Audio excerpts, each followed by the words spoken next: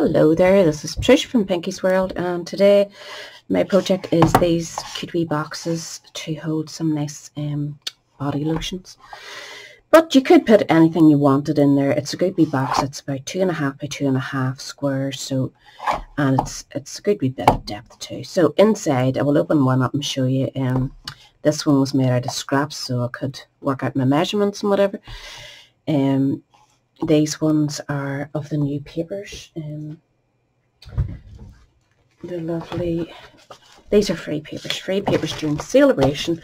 So make sure and pick them up if you're having a wee shop. You can get them when you spend £45 or more. And they're called Dainty Flowers. There's actually a whole suite that goes with this. So it ties in with them, I think. There's lovely um, dies and stamps that I haven't got it. I just got the papers when I was doing a bit of early shopping and they are beautiful. There's some gorgeous papers inside. There's lovely like watercoloured. You've seen a few projects using that one. Um, I'm going to make them lovely sympathy cards and stuff with this because it's really, really nice. There's a one with a wreath inside it. Like, beautiful, isn't it? You just put a, cut that out, stamp a sentiment in the centre and you have a card ready to go. Beautiful colours.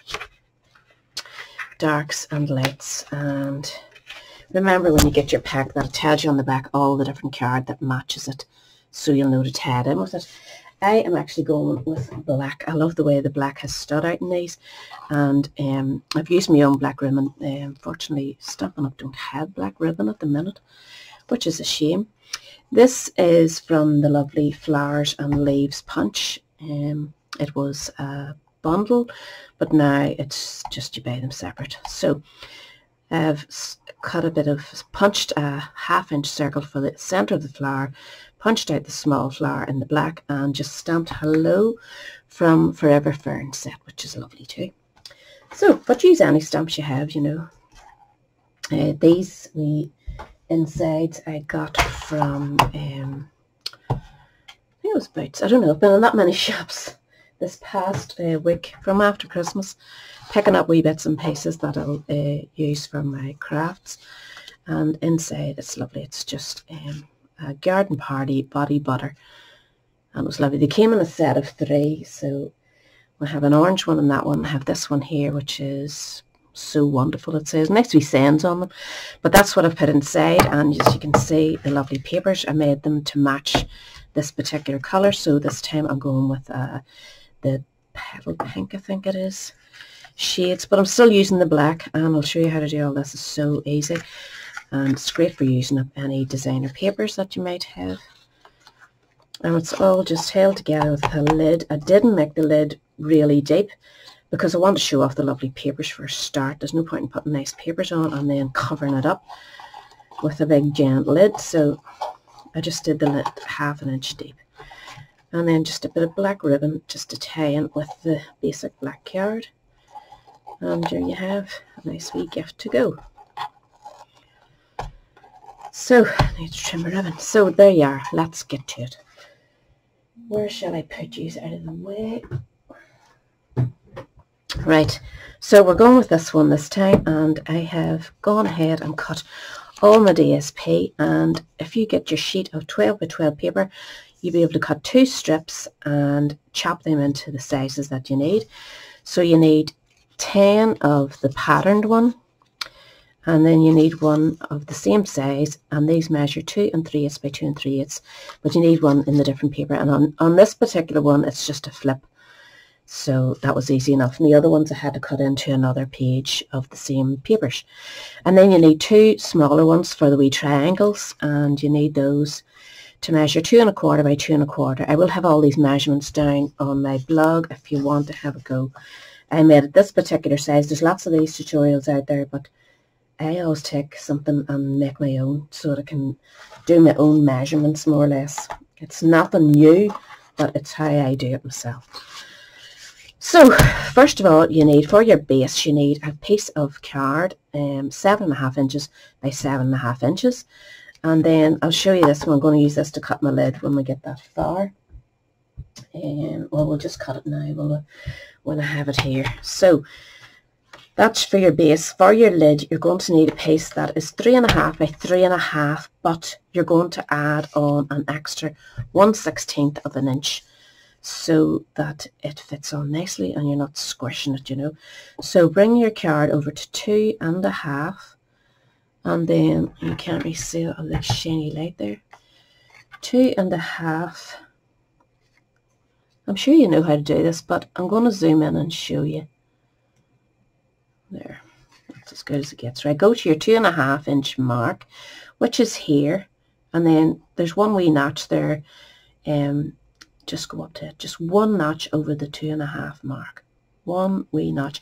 When you're following the inches, not the centimetres, follow the inches and just go two and a half and one wee notch. Simple as that. And cut your piece and do, turn it round and do the same. Two and a half. three and a half. What am I doing? Oh, three. I was going to say that's a small lid. Three and a half and one wee notch. Three and a half and one notch. Flip me pink. That was lucky it wasn't the last piece of card, wasn't it? Three and a half and one wee notch.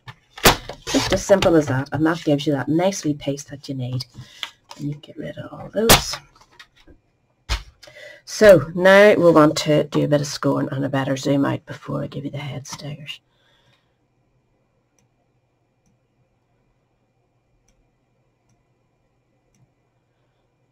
Oh, I've lost all my good light there. It's going crazy now, isn't it? I'm going to try and focus in again and fix it. Hopefully that will stay. I don't know what's going on with the light tonight. I hate doing these at night time and you always end up doing them at night time. Right, get your scoreboard out. And we're going to score the seven and a half inch square piece at um where am I going? Two and a half inches because that is the size of my box. So two and a half, flip it round and just do two and a half on all four sides.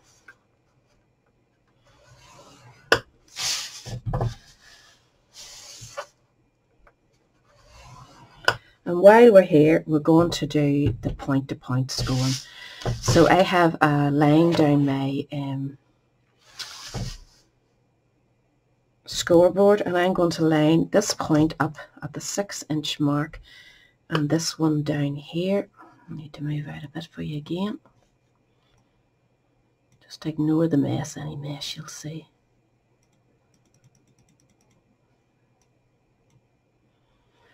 Okay, so this point here and then we're going to go down right down to the bottom point so that's all lined up on the line see right down to there. But just make sure if you run a colored marker down that or a white chalk marker whatever you have that'll keep you straight. But you're not going into this you're going to the points. So from here down to here and from here down to here. Spin it round and do the same here. Line it up at the six inch mark go down to the point that it goes to your nice bit of colouring that you done and just go up go down so that you're left with this. That's what you want to see. And for your wee lid I'm going to normally it'd go to the edge pull it in a wee bit but it's, it's easy to not get the right um, pull out each time. So I'd advise you to go to the inch and you'll see the gap where you normally, if you're were lined up at your inch, you'd normally go down and you'd catch your paper. Go across to the right hand side of that groove so that you're missing it. The groove is completely clear and that's where you want to line up and just score at half an inch. Spin it around, line it up again just to the right of the groove at the inch and go to half an inch. And just repeat that the whole way around. Keep to the right of the groove so that you're not seeing any of the groove at all. Or sorry, you are seeing the groove. You're not seeing any of the next line. Line it up and go to your half inch. And again, to the right of the groove so that you can see that canal down there where your your tool would normally go. See what I mean? And that keeps you hopefully right. So now we need to do a bit of burnishing and cutting. So we're going to go back into our big piece again And we're going to go um, to each square that has this and we're going to go cut it from there down to here. So I find this wee cutter suits me best, the guillotine one. So I'm going to line it up at that point and line this one up perfectly and just chop that off and you're left with that nice shape. So you want to repeat that on each corner, corner to corner, chop it off.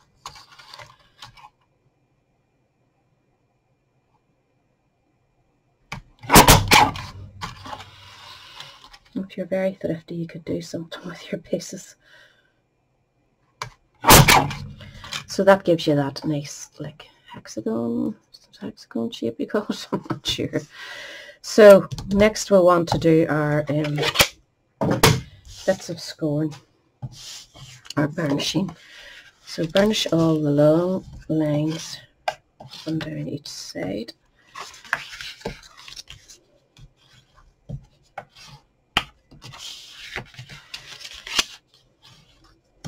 I'm not going to do the wee uh, folds here yet until I put my paper on. So we want to decorate it. So get your papers that you've chopped up. So you need, those two are for your triangles, the two pieces that are in the pink and you want them to be two and a quarter by two and a quarter. So just a nice wee square. These ones you're going to pop inside and they were two or three and sorry, two and three eighths by um, two and three eighths, obviously. So they're going to sit here. So you need to decide, when I was doing it, I made the, the flowers go all into the inside the whole way around. So decide yourself when you're doing it and stick those in place. So you're going to need for them. One, whoops, whoops, two, three, and four. And I'm just facing that, looks upside down to me, but that's the way it's going to sit nicely. So I'm going to stick those in place. And we have one that I cut as well, the same size, only in the pink. And I want it in the centre so that it, it matches my wee uh, container perfectly. So I'm going to stick those in place and come straight back to you. So that's them all stuck in place. Um, we need to do our wee triangles now for the other set of the triangular pieces. And what you need to do is get the ones that you cut at two and a quarter by two and a quarter. And we're going to line them up corner to corner. Oh, dude and cut them in half. That's the made that one. So just slide it in, you're cutting from there to there.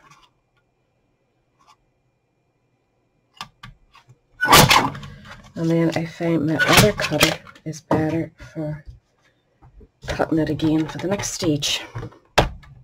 Just sorry about the light. But slide that up to the very top so it's butted right up there and then line this point up with your gutter here so that that keeps you nice and don't try and cut from the point, cut from the widest part up, otherwise you'll shred your paper. So try and keep those two together that you've cut, you know they match. And just do that. So you end up with four nice pieces, just line it up so that point is nicely secured there. keep those two together. They tend to match a bit better if you do that. I would really need to clean this cutter.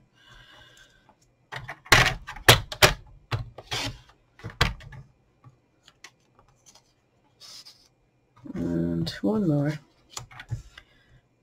It just makes it so much easier to be able to line that up nicely. Oh, Without having to panic about things. So, now you want to take your piece and we're just going to like use one set of triangles and just pop them in. So one goes there and one goes there. And we're just going to do it the whole way around, stick them in place. Now that's it all decorated on the inside. At this stage, if you wanted to do any stamping or any extra things, you can plonk things here or whatever. but I think it's just nice enough on its own. Whenever this is sitting inside, it's just going to sit up nice. So now you want to squeeze these together. So when that comes up, these are going to squeeze in like that. And you could take your um, bone folder and give it a wee. Make sure your your glue's dry before you do this, of course. So just make sure they're sitting nice and neat. Give it a wee squish. Same with the other side.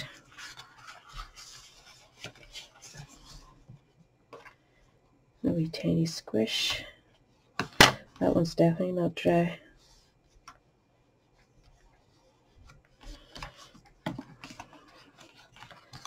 And your final one. So you can see it just forms your, whoops, your wee container. These will just sit neatly in out of your way. So now you want to decorate the outside of it before you do your lid and the outside's going to be sitting like so. So you want your, your paper running the right direction. If it is a directional paper, make sure that you have the flowers running the right way up. So we know that's right, so we'll turn it over and stick these all in place. I didn't cut anything for here. I don't see the point of it when it's folded in. You're not going to see it, so you really just need all your things running this way this time so that you're not um, running them into the center. So just make sure you put them on the right way. I also didn't uh, decorate the bottom. Again, there's no point, it's going to be sitting up. So that's all that you put on that. So I'm going to go ahead and glue these in place. So that's that all stuck in place. So we have that ready to go and we're just going to leave it to that glue dries a bit and we'll work on our lid. So this is your lid and you want to get your scissors and go to the points here cut up to that line and then go over there and chop away a wee bit. You could uh, trim out a wee bit of that bulk there if you want, but it should be okay. So you want to do that four times. Just turn it clockwise, cut up the strip, chop off a wee bit and trim it there. And just keep repeating that round on all four corners.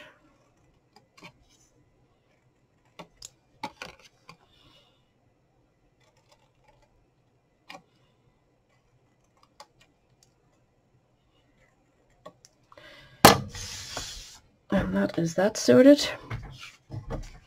I could actually stick our paper in. So be sure and set your, your paper to fit. Um, if it's facing this way, then you know that's going to be the front of your box, you know. So I'll show you when we're doing it. So we'll just stick a bit of glue on that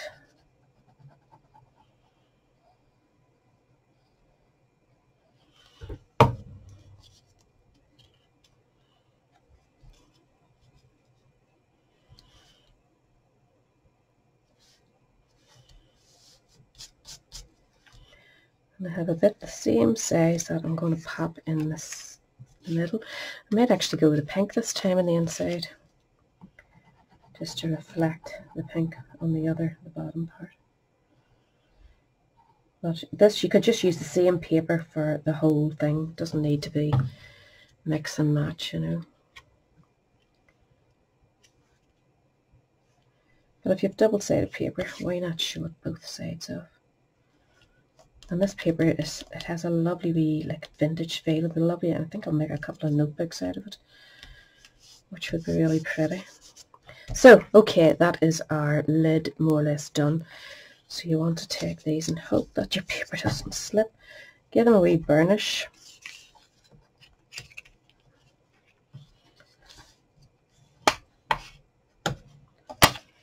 On all four sides. Including your tabs.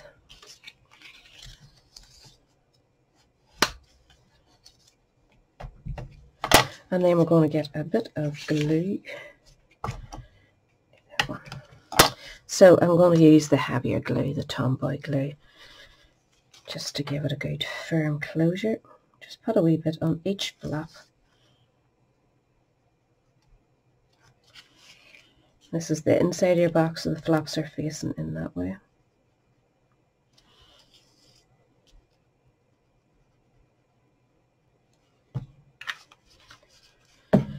And then just fill them up and form a nice corner, nice and neat. Give it a good wee grip and just repeat that the whole way around.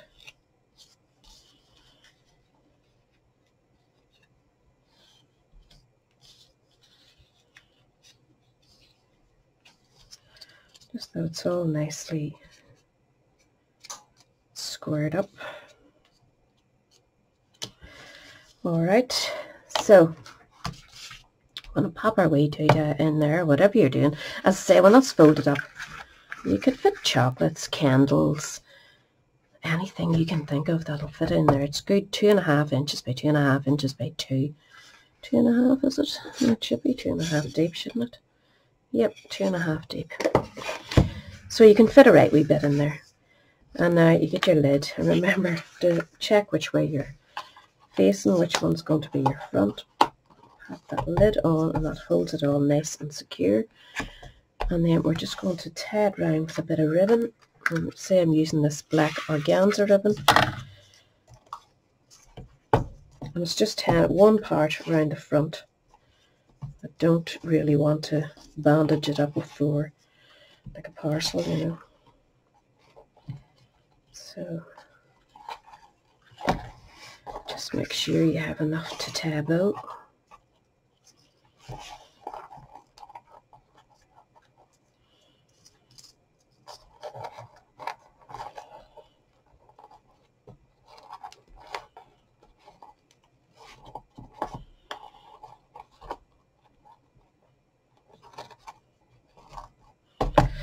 and then just cut your tails. So that is that. We just need to do our sentiment now. And as I say, I'm going to use the word hello. Black ink to tie in with that. And just a wee bit of um, a wee scrap. See if you've got a smaller scrap even. What's that smaller? Slightly smaller and slightly. I think I'll go what size did I do? Yeah, that one there will do alright. Always keep your wee off cuts, they're great for sentiments. So, I'm going to ink it up with Memento, just black Memento. And I thought hello was dead on for using.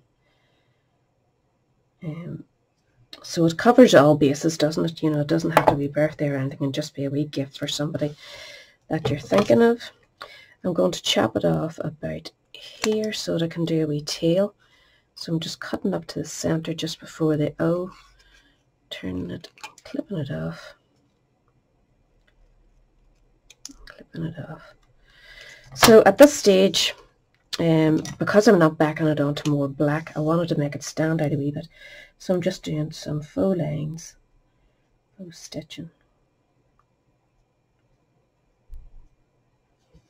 Same at the bottom. This doesn't need to be any particular length.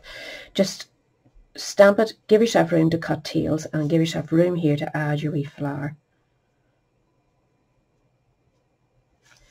Just turn that and do some tails that way. Or some stitching I mean. And you can put some at the end even if you cut them off what else. So you want to punch your wee flower out and that's just being punched out as I say by this flowers and leaves punch. Still available. Not as a bundle but it's certainly there and it goes with the what do you go with? Yeah that one there. This one here so if you had both you'd be able to punch these wee flowers out. Uh, you can see some of them there. So a handy set that's called flowers of friendship so get your punch, get yourself a bit of uh, black hair, just a scrap. That's all you need is a wee scrap. Slide it in down to the bottom.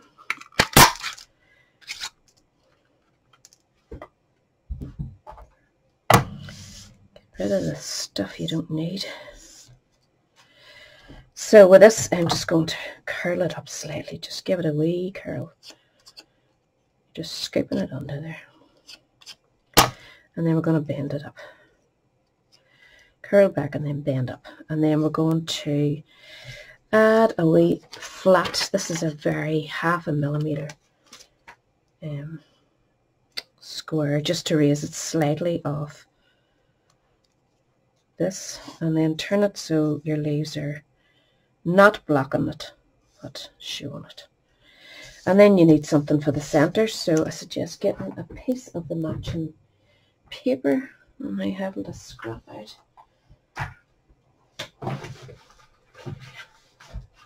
So we want to go with the pink, so I'm just going to use the wee half inch punch. Oh, that just went flying somewhere across the floor. Not much good. So get yourself a wee bit of heavy foam. I keep a wee quarter for doing a wee bit of this. And your big ball too. And just go round. Till you turn it into a curved like card candy nearly. And you want to add a deeper dimensional to that. You can nearly add two, but I'm going to go with one. And we'll stick it to our wee flower. And then that keeps it all toning in nicely. And then you need some bigger dimensionals again. We're really building this baby up. So you just want to pop it on there and pop a smaller piece on there. And then we're going to stick it in place and we're all done.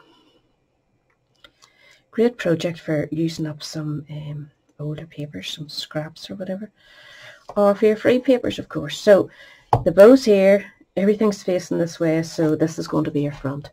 So I'm just putting that at a wee jaunty angle and that is me all done. So I hope you enjoyed it. I hope you'll give it a wee go. And I say, if you do craft or anything, look out in the likes of Boots and other wee local chemists and stuff, and you'll get these lovely wee packets left over from Christmas, and they're still fine for the rest of the year, you know. So you can package them up and make some nice wee treat boxes. So thanks very much for uh, watching and remember to subscribe if you haven't already. I really appreciate it and I'll catch you all again next week. Bye.